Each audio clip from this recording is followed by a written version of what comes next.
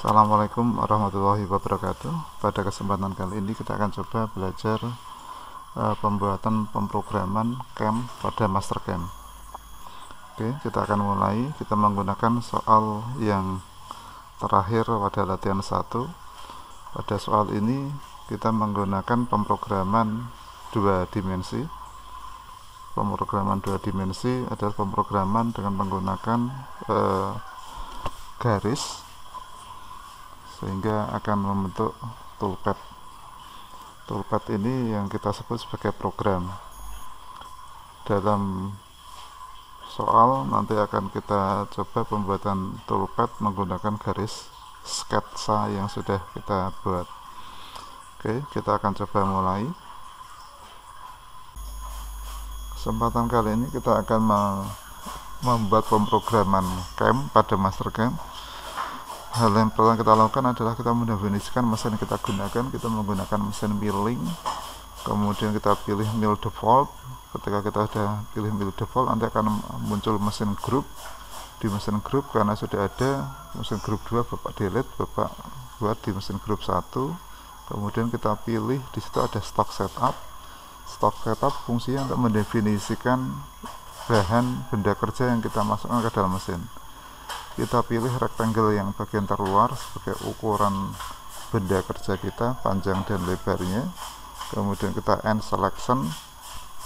Kemudian nanti di rectangular setting originnya kita definisikan titiknya ada di atas. Ini sebagai titik nol benda kerja di bagian atas. Kemudian definisikan ketebalannya tebalnya ada 25 mm terlihat benda kerja kita warna biru kemudian setelah kita oke kan uh, muncul garis warna merah. Itu merupakan ukuran benda kerja kita. Tampilan isometriknya seperti ini. Tahapan berikutnya kita akan membuat toolpad pemrograman. Posisinya kita di view top dulu untuk memudahkan. Kemudian kita pilih facing. Toolpadnya namanya facing. Fungsinya untuk meratakan permukaan benda kerja. Untuk facing adalah selebar uh, benda kerja yang kita buat jadi kita pilih kotak terluar sehingga facing nanti akan memakan permukaan atau meratakan permukaan bagian atasnya. Setelah ini kita pilih kemudian kita definisikan tool yang kita gunakan. Untuk mendefinisikan tool uh, punya bapak sudah ada ini bapak delete dulu. Kita mendefinisikan kita membuat tool baru create tool. Kemudian kita pakai tool diameter 10 definisikan fit rate atau kecepatan pemakanan 1000 mm per menit spindle speednya 3000 rpm pada cut parameter kita definisikan stok to liftnya tidak ada sisa karena kita tidak menggunakan fishing jadi kita nolkan. Di parameter kita menggunakan pemrograman namanya absolute. Kita definisikan fit plane itu adalah 1 mm di atas benda kerja. Kemudian depthnya 0 mm kemudian pada arch filter kita definisikan line arch karena smoothing setting. Di situ 70% 20% dan 10% ini merupakan uh, pembagian pemakanannya. Nah, hasilnya seperti ini. Terlihat di situ untuk uh, settingannya dia facingnya kotak bentuknya zigzag yang kuning adalah e, gerak cepat yang biru adalah gerak pemakanan. Pada verifikasinya menggunakan backpop di situ terlihat lintasan pemakanannya oke untuk tab berikutnya di sini kita matikan toggle displaynya sehingga kita bisa fokus pada pengerjaan toolpath yang kedua. Untuk pengerjaan toolpath yang kedua kita melakukan pemakanan pada bagian oval yang ada di tengah. Untuk pembuatan ini kita membuat terlebih dahulu garis bantu. Garis bantunya berupa garis seperti yang Pak tunjukkan seperti ini. Oke garisnya seperti itu. Kemudian pada toolpad kita pilih kita pergunakan perintahnya namanya dynamic milling pada dynamic milling kita definisikan mesin region yaitu bagian yang kita lakukan permesinan adalah garis yang seperti ini. Jadi dia akan melakukan komponen pemakanan yang bagian tengah itu. Kemudian di sini tool yang kita gunakan masih sama yaitu tool 10 bitrate 1000 spindle speednya 3000 rpm pada cutting parameter di situ kita stock view lift kita nolkan kita pekerjaan tidak ada finishing. Jadi eh, pemakanan langsung ke ukuran benda kerja yang dimaksud. Depth cut di sini ada tebal tiap kali dia pemakanan. Jadi sekali makan dia 3 mili di situ. Kemudian entry motionnya pakai uh, helix karena dia turun di tengah-tengah jadi turunnya nanti akan pelan-pelan. Pemrograman menggunakan absolute semua fit plane kita rubah 1 mili kemudian retracknya bapak di situ setting uh, 2 mili. Kemudian depthnya kita setting di situ sedalam daripada material. Karena kalau kita lupa ukurannya kita bisa tentukan Z nya seperti ini di situ terlihat Z kedalamannya adalah minus 5 arch filter tolerance kita setting 70% untuk cut tolerance line arch nya 20% kemudian smoothing tolerance nya kita setting 10% di situ terlihat untuk pemakanan semuanya dari view top. Kemudian di sini akan menghitung masterkan dan terlihat untuk arah pemakanan dan hasil pemakanannya benar dia ada di bagian dalam seperti ini. Setelah kita cek dan hasilnya insya Allah benar maka kita lakukan untuk proses yang berikutnya. Pada kesempatan kali ini kita melakukan pemakanan yang di bagian tengah yang vertikal di tengah. Untuk itu kita mempersiapkan garis bantu garis bantunya berupa kotak. Nanti akan dilihat garis bantunya seperti ini kita coba dulu 5 mili.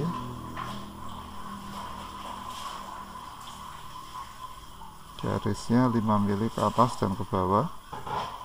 Kemudian kita hubungkan garis yang ujungnya tadi sehingga membentuk kotak seperti itu. Setelah jadi kita pilih toolpad-nya kita menggunakan perintah namanya eh, kita coba perintahnya pocket. Pocket ini hampir sama dengan dynamic milling. Kita pilih garis yang kita buat tadi jadi lintasannya kita pilih. Maka tool akan bergerak menyesuaikan dengan lintasan yang kita pilih ini. Hasilnya seperti ini garis yang kita pilih jadi garis ini membatasi nanti pergerakan daripada tool kita. Tool kita ambil 10 mili fit rate nya 1000 rpm kita pergunakan 3000 stok tool nya kita nolkan nggak ada finishing kita pembuatan langsung jadi sesuai ukuran kita ambil hex speed. Kemudian helix ini adalah uh, pem, uh, pertama kali itu akan turun karena turunnya tidak di luar maka kita pergunakan helix depth cutnya kita setting tiap kali turun nanti pemakanan setebal 3 mil, eh, 5 mili di sini. Kemudian untuk pemrograman di link parameter kita menggunakan semuanya absolute settingannya. Kemudian fit play nya bapak setting 2 mili kemudian un, oh maaf 1 mili kemudian untuk depth nya kita definisikan setebal dari kedalaman benda pemakanan benda kerja. Sehingga ini total kedalamannya terlihat nanti 15 mili tetapi sekali makan dia tiap 5 mili 5 mili dan 5 mili. Sesuai depth cutnya tadi di sini settingan arch untuk filternya kita setting 70 20 dan 10 persen. Lainnya pastikan semuanya ada di posisi top kemudian kita oke. Okay. hasilnya bisa dilihat seperti ini. Kita lakukan pengecekan ulang menggunakan backplot ketika kita backplot nanti akan muncul lintasan pahat yang kita buat dan di sini kita bisa cek apakah lintasan pahat kita ini uh, sesuai dengan kita inginkan. Ternyata di sini ada sisi yang belum termakan hanya kecil. Jadi kita lakukan editing sedikit. Di bagian di sini terlihat di bagian bawah juga belum termakan semuanya. Sehingga editing yang kita lakukan eh, kotak yang bagian luar tadi ukuran 5 mili keluar kita akan eh, buat lebih keluar lagi. Jadi kita delete dulu. Waktu kita delete ada muncul seperti notice notifikasi di situ karena garis tadi kita gunakan untuk pemrograman. Sehingga kita abaikan saja tetap kita delete garisnya nanti kita perbaiki kemudian programnya kita akan coba update. Jadi ini garis bapak tambahkan yang tadinya 5 mili sekarang jadi 10 mili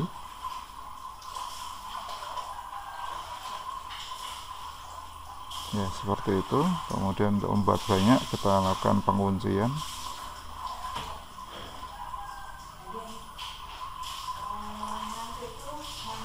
Ini sudah selesai. Kemudian garis yang kita hubungkan seperti kita ulang seperti yang tadi sudah kita lakukan. Ini kita oke kan kemudian program kita lakukan editing yaitu di geometrinya di geometrinya kita edit chain yang per, yang lama kita delete kemudian kita buat chain baru. Oh iya nanti jagungnya direbus bude buat nyemil anak jadi kita definisikan kembali chain yang baru kita buat. Untuk memudahkan pilih view top untuk pemilihan garis. Ini sudah selesai garis sudah kita pilih kemudian kita oke kan di sini kita update. Sehingga tanda silang warna merah tadi akan hilang. Kemudian kita cek menggunakan backplot sewaktu kita menggunakan backplot di sini akan kita lihat lagi apakah masih ada sisa. Ternyata hasilnya sudah lebih bagus. Sehingga kita bisa lanjutkan untuk pemrograman pada tahap berikutnya. Oke seperti ini kemudian kita lakukan toggle display ya. Onnya kita matikan sehingga kita akan fokus di pekerjaan berikutnya. Di pekerjaan berikutnya kita akan melakukan pemakanan pada sisi luar bagian oval yang di luar oval. Yang bagian ini yang kita akan lakukan pemakanan sehingga dia ada kedalaman seperti di gambar. Untuk pembuatan toolpad kita nanti menggunakan toolpad baru namanya adalah kontur Oke, kita mulai kita membuat garis bantu. Garis bantu yang pertama kita hubungkan antara oval yang bagian terluar seperti ini. Kemudian kita pilih ada garis bantu yang bagian tengah, kita hubungkan sebagian sini. Kita oke kan. Kemudian kita pilih untuk toolpadnya namanya kontur kita pilih lintasan toolpadnya. Di sini terlihat bahwasanya garis yang kita buat tadi belum kita break at intersection. Jadi kita potong kita break dulu. Kita cancel dulu pemrograman kontur kita. Kemudian wireframe kita lakukan break. Garis ini kita potong di tengah-tengah seperti ini. Jadi ini sudah kelihatan terpotong. Ini kita potong juga. Nah ini juga sudah kelihatan terpotong nah kita mulakan lagi dengan toolpad kontur. Kita pilih garis yang di tengah. Seperti ini. Lintasannya seperti ini kita oke kan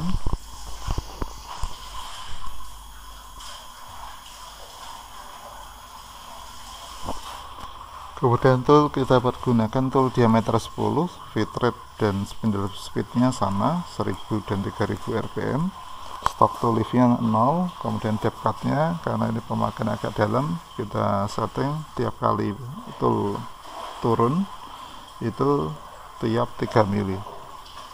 Kemudian let in let out nya di situ adalah uh, pertama kali tool masuk kita tidak pergunakan let in out maaf. Kita pergunakan let in out di situ. Kemudian di situ multipass. Multipass ini ada pengulangan berapa kali dia nanti mengulangi lintasan yang bentuk oval tadi. Kita setting 5 kali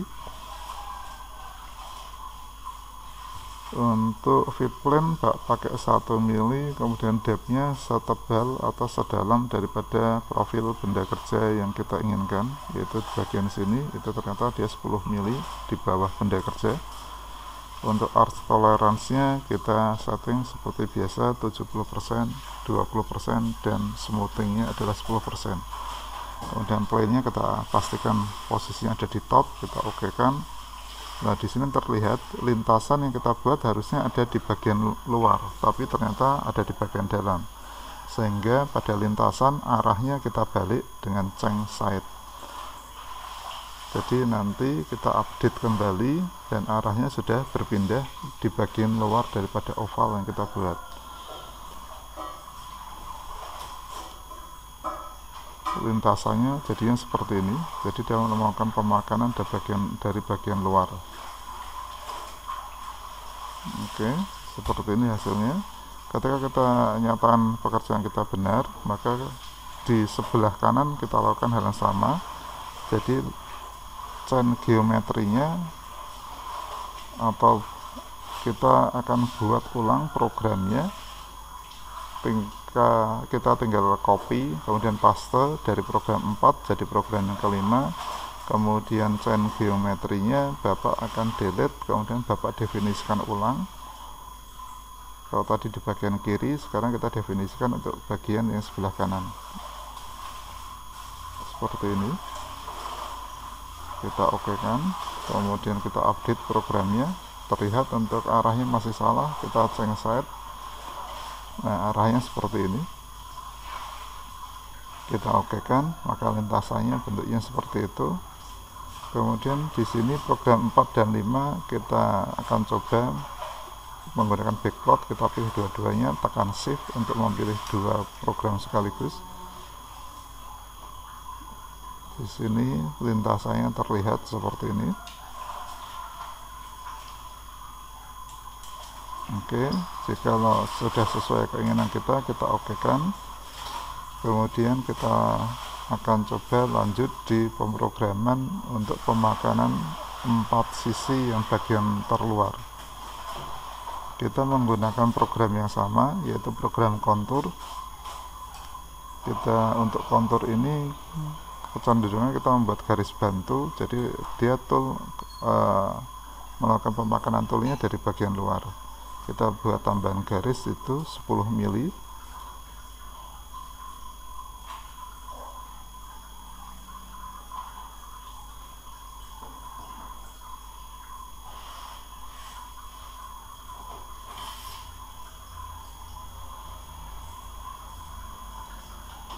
Kita oke kan kemudian bapak tidak copy paste tapi bapak membuat uh, pemrograman kontur dari awal. Kita pilih lintasannya lintasannya seperti ini. Kita coba satu dulu. Kemudian tool kita gunakan tool diameter 10 bitrate rpm sama 1000 rpm 3000 bitrate ini biasanya adalah sepertiga daripada rpm let in let out nya bak matikan. Kemudian untuk multipass nya bapak ambil dua kali.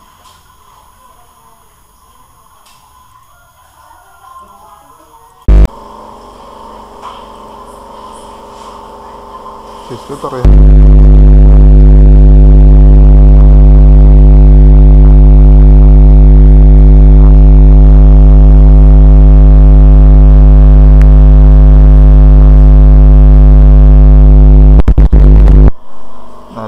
terlihat untuk arah pemakanannya adalah salah sehingga kita set untuk posisinya. Kita update dengan region dan itu sudah benar. Kemudian untuk program ini kita uh, cek dengan backplot hasilnya juga sudah benar. Setelah itu kita akan tambahkan untuk bagian-bagian yang kita makan kan? Jadi kita tinggal menambah geometrinya saja. Jadi kita pilih geometri kemudian kita add chain.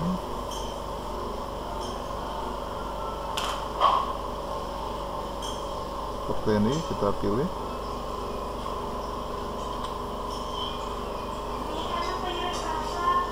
Kita pilih chain yang ketiga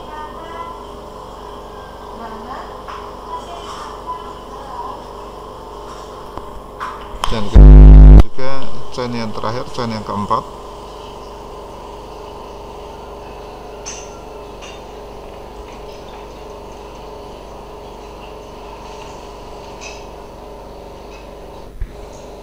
Di situ sudah ada empat chain kita oke kan dan kita lakukan generate. Di situ sudah terlihat untuk arah pemakanan dan toolpadnya benar kemudian yang terakhir kita coba akan lakukan pengecekan menggunakan backplot.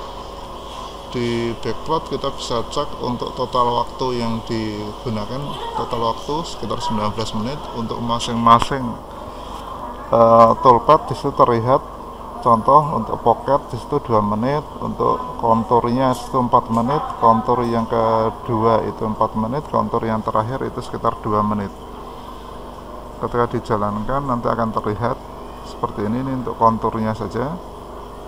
Kalau kita mau pilih semuanya kita pilih toolpad grupnya baru kita jalankan. Maka akan menjalankan semua perintah yang kita buat. Untuk lebih detailnya kita pengecekan tidak menggunakan backplot.